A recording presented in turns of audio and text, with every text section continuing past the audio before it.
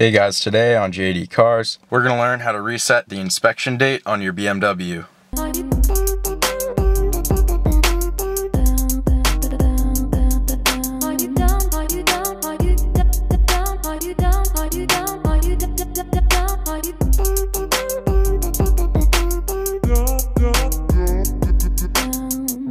So the inspector who did my car must have set the date wrong because whenever I start up the car, the red service light comes up, as you can see here. So I'm going to show you how to change it to the proper date so you don't miss your inspection. First things first, insert the key fob into the ignition. Then without starting the car, just press the ignition button once. Now come to the left side of the dash and hold down this button until this yellow triangle comes up. Hold it until it goes away and then you can release it. Now we're going to press this BC button once which will bring up the date so we can edit it. Then using this knob, we can change the date.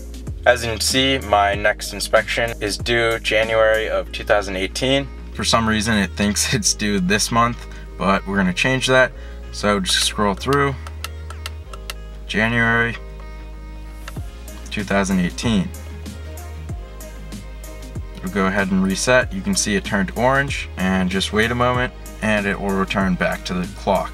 Now when we go ahead and start up the car, it does the vehicle check and all lights clear.